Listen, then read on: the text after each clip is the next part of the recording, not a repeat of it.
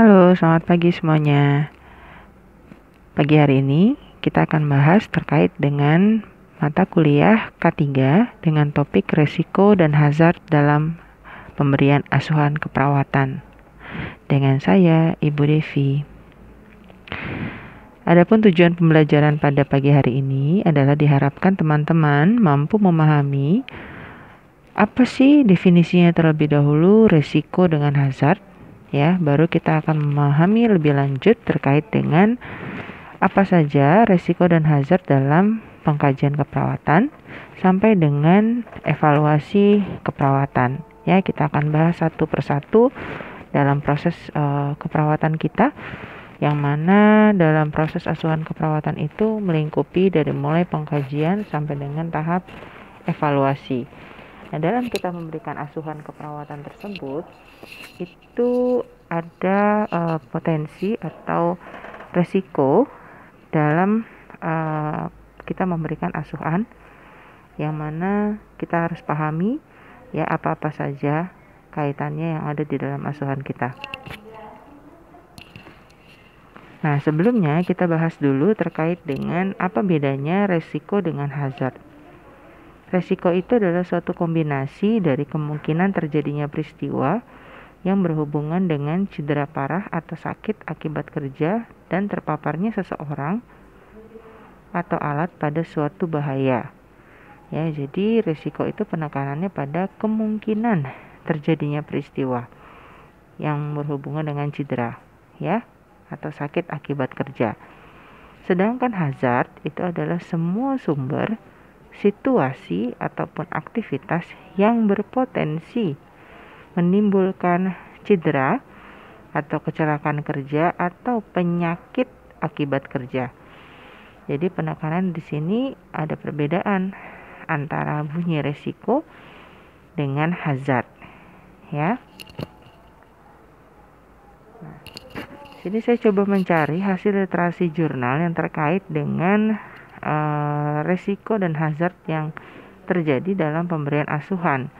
Nah, ini didapatkan menurut penelitian Gates, uh, Gillespie, Gillespie dan uh, Sukop 2011 menunjukkan bahwa perawat yang bekerja di IGD lebih banyak empat kali lipat mengalami tindak kekerasan dibandingkan ruang lain ya jadi di ruang UGD ini tempat uh, berpotensi ya empat kali lipat yang mengalami tindakan kekerasan secara fisik ya ataupun nonverbal ya di UGD. Nah, jen, jenis tindak kekerasan yang dialami perawat UGD biasanya didapatkan menurut sumber Gaki Smith et al 2010 Sebanyak 79,6% itu mengalami kekerasan secara verbal, 55,5% mengalami ancaman secara verbal, 41,1% mengalami kekerasan fisik, 15,9% sisanya mengalami pelecehan seksual. Ya, jadi cukup banyak tindakan kekerasan yang dialami ya oleh perawat yang ada di UGD khususnya. Nah, menurut Zhang et al. 2018 mengatakan kekerasan di tempat kerja berpengaruh terhadap psikologis, stres, kualitas tidur, dan status kesehatan. Nah, ini perlu kita cermati baik-baik. Makanya dalam sesi hari ini kita akan belajar dan mengenali apa-apa saja potensi hazard yang bisa terjadi menimpa kita sebagai tenaga kesehatan, khususnya adalah perawat. Mari kita simak video yang menunjukkan kekerasan yang terjadi pada perawat di video ini. Silakan disimak. Ya, pada video ini terlihat di mana ada seorang laki-laki ya ini sepertinya penampakan di ruang UGD ya di ruang admission pertama ya penerimaan uh, pasien baru ya di mana ada terjadi aksi kekerasan yang dilakukan dikatakan di sini oleh seorang satpam yang terekam pada CCTV rumah sakit ya di mana uh, ketika diminta oleh ketika berkomunikasi terlihat di sini ya uh, pasien ini tidak menggunakan masker ya dia mengantarkan anak yang sedang sakit ya dan ketika berkomunikasi dengan perawat tidak menggunakan masker perawat meminta untuk pasien tersebut menggunakan masker. Nah karena tersinggung ya nih lihat ya langsung ditampar uh, pipi perawat tersebut. Ya nah akibat dari perbuatan pelaku dilaporkan ke polisian dengan tuduhan penganiayaan. Nah, ini menjadi tindakan kriminal ya karena sudah masuk ranah hukum ya dan pelaku ini akhirnya diproses ya. Nah, kejadian pada video tersebut teman-teman itu merupakan uh, resiko hazard yang bisa kita alami ya sebagai tenaga kesehatan dan kita harus bisa hindari ya uh, kejadian tersebut ya. Nah, makanya uh, kejadian tersebut perlu kita pahami ya apa saja potensi hazard atau bahaya yang bisa kita alami selama kita berada di uh, rumah sakit atau di pelayanan. Nah, di sini dikatakan ada pembagian dari jenis-jenis hazard ya, ada mekanis, ada kimiawi, ada psikologi, ya, kemudian ada biologis, ada fisik, ada listrik. Nah, ini ada masing-masing uh, jenis-jenisnya dari masing-masing yang ada ya di mana tadi kalau dilihat dari um, kasus yang tadi dalam video ya itu bisa uh, berupa bahaya hazardnya adalah bisa psikologi ya bisa menimbulkan stres pada perawat tersebut ya dan juga uh, bahaya hazard secara fisik ya karena uh, apa namanya terjadi uh, trauma perlukaan ya di mana tadi ada tamparan secara fisik yang dilakukan oleh uh, pelaku tadi ya. Nah, selain dari fisik dan uh, psikologi, di sini teman-teman bisa dilihat ya kita punya potensi-potensi hazard yang lain. Seperti biologis ini contohnya. Ini dikatakan fauna flora itu maksudnya adalah mikroorganisme yang bisa masuk ke dalam tubuh. Kita tahu bahwa rumah sakit itu atau pasien-pasien yang datang itu adalah membawa penyakit sehingga kita perlu antisipasi terkait dengan uh, hazard dari uh, biologis ini ya atau mikroorganisme yang bisa masuk. Kemudian kimiawi di sini cairan-cairan ya di mana uh, cairan-cairan desinfektan, kemudian cairan yang lain uh, misalkan obat-obat, misal uh, obat radiasi gitu ya.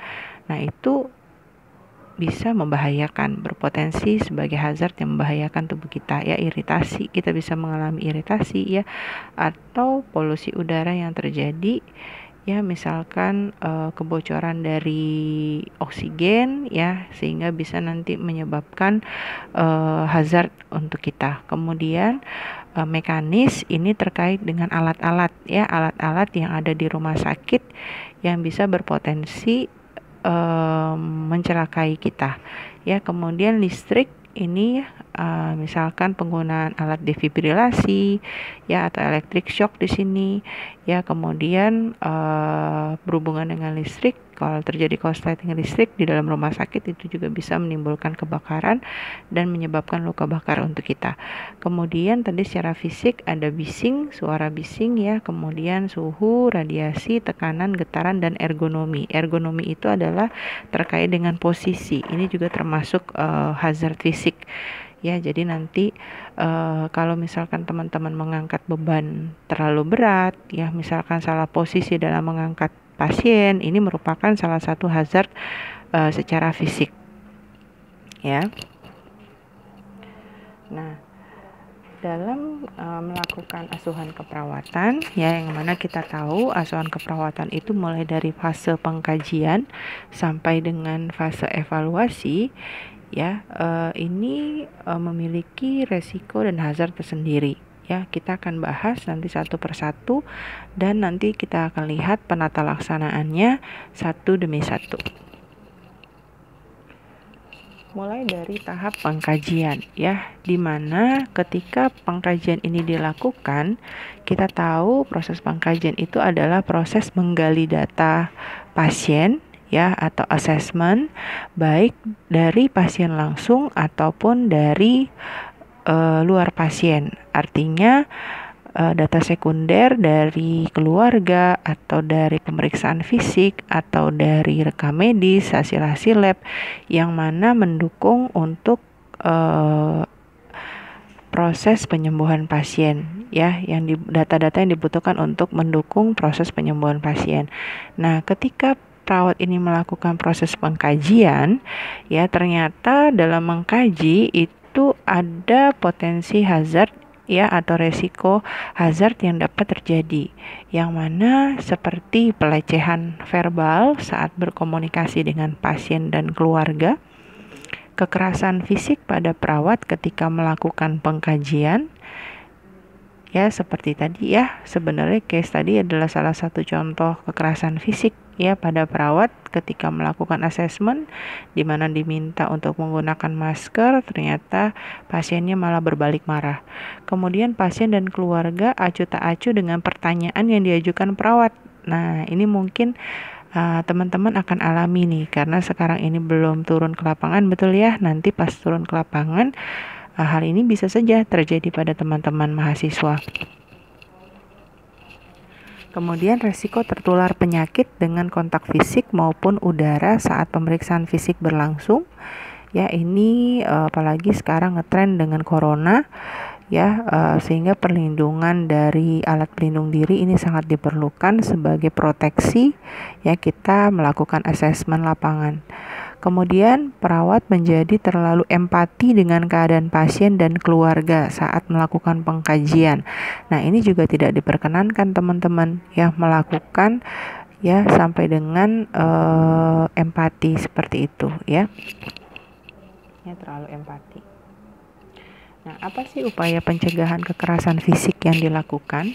Ya, diharapkan itu perawat harus melaporkan setiap adanya tindakan kekerasan dalam bentuk apa pun ya kepada pihak rumah sakit. Kemudian memberikan pengertian kepada pasien agar memperlakukan sesama manusia dengan dasar martabat dan rasa hormat. Ya, sempat saya pernah ke rumah sakit itu ada memang tulisan. Nah, ini merupakan salah satu bentuk upaya pencegahan atau meminimalkan potensi resiko hazard ini ya eh, di mana ada tulisan mohon eh, hargai tenaga kesehatan ya untuk tidak melakukan kekerasan fisik ataupun verbal ya itu ada uh, tulisan yang terpampang di rumah sakit dan ini merupakan salah satu bentuk K3 ya yang dilakukan dari manajemen rumah sakit. Nah, kemudian yang ketiga melakukan kontak dengan pasien, perawat seharusnya menjadi pendengar. Ya, jadi jangan uh, bertanya terus maunya didengerin terus ya. Nah, tapi harus menjadi pendengar yang baik ya supaya meminimalkan uh, apa namanya uh, emosi dari pasien ya yang mana kita tahu ketika pasien sakit atau membawa keluarga yang sakit itu dalam kondisi cemas yang tinggi sehingga emosinya tidak stabil ya sehingga hal ini yang perlu kita waspadai ya teman-teman itu perlu diingat. Berikutnya adalah memberikan pelatihan dan pendidikan kepada perawat tentang cara menghindari tindakan kekerasan verbal dan fisik. Nah, ini perlu ada training khusus nih untuk uh, kita uh, bisa mengantisipasi kekerasan fisik ataupun verbal ya dengan cara komunikasi yang baik ya. Kemudian perawat dapat melakukan pengkajian keluarga pasien jika kondisi tidak memungkinkan ya di mana di sini diharapkan kalau memang kondisi pasiennya tidak stabil dalam arti hemodinamiknya tidak stabil ya misalkan sedang nyeri hebat atau tensinya sedang tinggi ansietasnya tinggi maka tidak memungkinkan dilakukan pengkajian ya karena kalau kamu bertanya kepada pasien dalam kondisi tersebut akan meningkatkan emosional pasien ya. Sehingga kita bertanya kepada keluarga pasien ya untuk uh, mengetahui uh, apa yang dikeluhkan oleh pasien ya atau riwayat-riwayat penyakit apa saja yang dialami oleh pasien. Kemudian yang ketiga, perawat tidak boleh menyampaikan kata-kata yang menyinggung pasien dan keluarga. Ya, contohnya adalah misalkan wah misalnya dapat pasien dengan uh, eh, HIV AIDS gitu ya. Loh bapak kok bisa dapat HIV berhubungan seksual ganti-ganti ya pak. Nah, misalkan kayak gitu ya. Nah itu tidak diperkenankan ya uh, menggunakan statement atau kata-kata yang dapat menyinggung uh, pasien dan juga keluarga. Nah, berikutnya adalah meminta persetujuan dari pasien ya sebelum melakukan pengkajian, khususnya adalah pemeriksaan fisik. Jadi, kamu kan nanti akan diajarkan. Sebelum melakukan tindakan ya tahap sebelumnya adalah kontrak dengan pasien dan keluarga. Apakah keluarga dan pasien itu berkenan untuk dilakukan uh, tindakan? Ya salah satunya juga dalam tindakan pengkajian. Ya jadi harus selalu permit dulu atau meminta izin dulu jika diperkenankan waktunya kamu sebutkan berapa menit dalam sekian menit saya akan melakukan pengkajian atau menggali pertanyaan beberapa pertanyaan untuk melihat status kesehatan dari bapak atau ibu. Jadi harus ada kata-kata statement permissionnya dulu ya. Kemudian yang berikutnya manajemen rumah sakit perlu memfasilitasi perawat ya dalam mempersiapkan diri menghadapi hazard dan resiko. Ya jadi uh, perlu difasilitasi bukan cuma sekedar uh, perawat pelaksana aja tapi perlu difasilitasi. Dengan apa? Nanti kita akan bahas bahwa perlu disediakan juga sarana prasarana yang mendukung agar resiko-resiko ini tidak terjadi. Kayak contoh tadi, difasilitasi ada CCTV di dalam ruangan sehingga ketika terjadi perilaku kekerasan seperti ini ada bukti otentik yang bisa dipertanggungjawabkan nanti di pengadilan ya kemudian manajemen terbuka dan tidak berusaha menutupi laporan kekerasan fisik dan verbal terhadap perawat. Nah ini kadang suka ingin menjaga nama baik rumah sakit. Ya kasus-kasus yang seperti ini tidak di blow up. Ya padahal ini penting karena sudah ranahnya adalah hukum. Kemudian memodifikasi lingkungan yang nyaman untuk menenteramkan suasana hati pasien dan keluarga. Ya, jadi uh, suasana hati itu juga perlu didukung dari uh, kondisi lingkungan sekitar yang ada di rumah sakit. Ya, misalnya lagi pembangunan rumah sakit ini pernah saya alami ya ketak-ketok ketak-ketok gitu ya di atas uh, kamar kita misalkan ya. Nah itu sangat bising bunyinya. Kemudian uh, perawat malah nanya-nanya lagi kondisi lagi bising begitu. Nah akhirnya kan jadinya malah emosi. Nah ini yang perlu kita hindari ya sehingga memang kenyamanan pasien itu dan keluarga itu kita utamakan Nah, sedangkan upaya pencegahan penyakit akibat kerja itu bisa dilakukan dengan cara pertama adalah batasi akses ke tempat isolasi. Ya, contoh seperti yang terjadi saat ini di pandemi COVID-19 eh, ini ya, kita lihat ya sudah dibatasi aksesnya ke ruang pasien ya di mana menggunakan gadget ya untuk dilakukan uh, jika ada yang ingin diperlukan atau ditanyakan oleh pasien ya dengan menggunakan uh, WhatsApp misalnya ya sehingga nanti uh, meminimalkan ya kontak dengan pasien. Dan memang uh, apa namanya uh, misalkan pemberian makan atau minum itu dilakukan tidak kontak dengan langsung ke ruangan pasien tapi ditaruh dan nanti pasiennya yang akan mengambilnya. Ini yang dikatakan batasi akses ke tempat isolasi ya tapi apakah tidak sama sekali disentuh ya? Tidak juga. Ya tetap harus uh, keep kontak dengan pasiennya secara langsung maupun tidak langsung. Kemudian menggunakan alat pelindung diri dengan benar. Nah, ini jangan sampai nanti uh, ada yang Nah, ini ada kaitan dengan yang nomor tiga ada bagian yang tidak tertutupi. Ya, artinya nanti alat pelindung diri ini tidak maksimal digunakan. Kemudian membatasi sentuhan langsung dengan pasien. Ya, ini uh, kalau perlu dihindari ya sentuhan yang memang tidak diperlukan. Misalnya uh, melakukan pemeriksaan fisik ya ataupun uh, melakukan observasi tanda-tanda vital ini perlu diperhatikan ya apakah memang harus sesering mungkin melakukan observasi atau masih bisa dibatasi. Kemudian jangan lupa sebelum sudah tindakan melakukan cuci tangan dengan air dan sabun ya dengan air mengalir ya meminimalkan uh, resiko terkontaminasinya kita dengan mikroorganisme dari satu pasien ke pasien yang lain. Berikutnya adalah bersihkan kaki dengan disemprot ketika meninggalkan ruangan tempat melepaskan alat pelindung diri. Jadi ketika sudah dilepaskan alat pelindung diri tersebut, kita harus membersihkan kaki kita dengan disemprot desinfektan. Ya, berikutnya lakukan pemeriksaan berkala pada pekerja yang mana di sini diharapkan selalu update untuk melakukan medical check up ya contoh kayak misalkan pada covid ini uh, di rumah sakit itu menerapkan uh, pemeriksaan swab yang dilakukan secara berkala ya tiap minggu bahkan ya dilakukan yang namanya pemeriksaan swab ya Kemudian uh, hindari memegang benda yang mungkin terkontaminasi. Nah, ini contoh-contoh benda-benda logam yang mana kita tahu dia tempat tempat apa namanya hinggapnya si mikroorganisme ini yang mana bisa bertahan lama ya. Nah, ini perlu kita uh, hindari dan selalu tadi cuci tangan. Itu tadi fase dari pengkajian. Nah, sekarang kita lanjut ke fase perencanaan.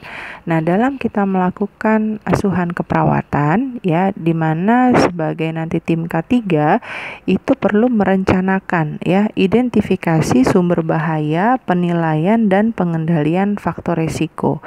Ya, identifikasi sumber bahaya yang dimaksud adalah kondisi dan kejadian yang dapat menimbulkan potensi bahaya serta jenis kecelakaan yang mungkin terjadi. Ya, kemudian yang kedua, penilaian resiko dari proses untuk menentukan adanya ada atau tidaknya resiko yang terjadi. Ya, yang kemudian yang ketiga, mengendalikan faktor resiko dengan cara menghilangkan bahaya, menggantikan sumber resiko dengan saran atau peralatan lain yang tingkat resikonya lebih rendah ya kemudian uh, sediakan administrasi dan alat pelindung pribadi ya sebagai uh, cara untuk mengendalikan dari faktor resiko yang terjadi. Nah, berikutnya tadi selain identifikasi perlu dilakukan atau menetapkan suatu peraturan dan kebijakan yang sudah kita bahas pada sesi yang lalu. Dan ini berkaitan dengan sistem manajemen K3 dari rumah sakit yang akan mengatur di mana ditunjuk suatu tim K3 tadi ya yang fungsinya uh, atau tupoksinya itu sebagai pengatur pengorganisasian segala urusan terkait dengan K3 yang ada di rumah sakit yang sudah pernah disinggung pada sesi yang kemarin. Tolong dilihat lagi. Nah, dalam proses implementasinya, ya kita tahu ya implementasi keperawatan itu adalah serangkaian kegiatan yang dilakukan perawat untuk membantu pasien dari masalah status kesehatan yang dihadapi ke status kesehatan yang lebih baik yang menggambarkan kriteria hasil yang diharapkan. Nah, begitu banyak uh, kegiatan yang dilakukan oleh perawat yang mana bisa uh, apa uh, terpapar atau beresiko hazard yang ada saat melakukan implementasi keperawatan. Nah, tiga prinsip pedoman implementasi itu adalah mempertahankan keamanan klien, memberikan asuhan yang efektif dan memberikan asuhan yang seefisien mungkin ya karena kondisinya ini uh, berpotensi ya menimbulkan hazard uh, buat kita sebagai tenaga kesehatan. Nah, upaya pencegahan hazard dan risiko saat implementasi keperawatan itu adalah membantu dalam ADL ya aktivitas uh, sehari-hari pasien ya memberikan konseling, memberikan asuhan keperawatan secara langsung ya, kemudian melakukan atau menyediakan ini bagi pihak uh, rumah sakit ya ini harus memberikan kompensasi untuk reaksi yang merugikan ya bagi tenaga kesehatan. Ya harus e, melakukan teknik yang tepat dalam memberikan perawatan dan menyiapkan pasien untuk prosedur mencapai tujuan perawatan mengawasi dan mengevaluasi kerja dari staf lain ya. Nah apa saja dikatakan yang menjadi potensi risiko hazard saat implementasi keperawatan Ya, di sini saya sudah coba cari terkait dengan tindakan-tindakan apa saja yang mungkin uh, bisa kita terpapar hazard. Yang, yang pertama adalah tindakan invasif. Contohnya adalah ketika melakukan pemasangan infus.